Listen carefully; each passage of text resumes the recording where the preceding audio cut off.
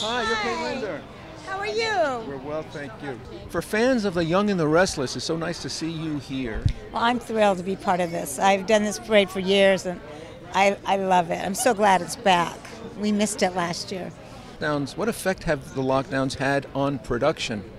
Well, I mean, it's been difficult for everyone. It, it's hard. I feel very safe. Uh, Young and the Restless, they've been amazing. We're tested all the time. Uh, and then when you're on set, you're rapid tested. And I, I never complain. I'm thrilled to be tested all the time. I want to know that I'm safe and I'm around my mom. That is, so she just turned 97, and I want to make sure she's safe, and I want to make sure you're safe. You know, we all have to be careful, and it, we can do it. We can get through this. What's happening at uh, CBS Television City What? with the uh, the facility? Do you film? You tape there? Yes, tape there. Well, you know, right now we're working, and so I just take it a day at a time, and and fingers crossed, and put one foot in front of the other, and that's what I do. Do you ever bump into Bill Maher there? I well, I yes, I know. I mean, you know, of course, I see him, and he does tape there. Yeah, he's on a different floor. Yeah, and he's different time. Do cast members ever go see his show taped there? Um, you know, every once in a while, I'm sure. You know, people do. Yeah, People have lunch at the farmers market. people do have lunch at the farmers market.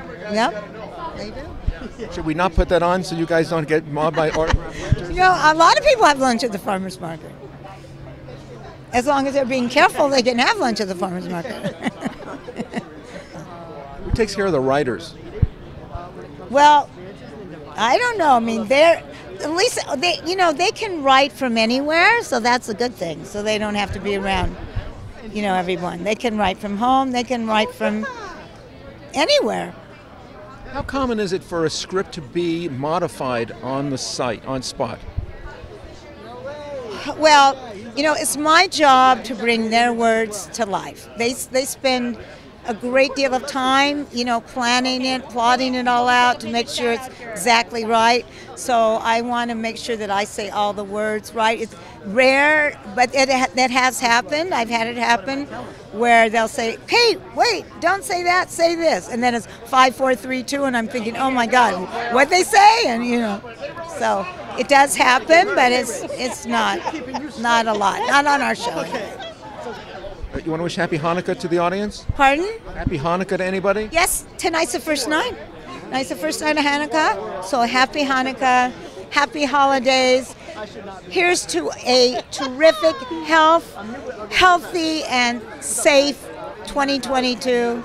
I know we're all glad to see that year come. So it's going to be good. Think positive. It's going to be a good year.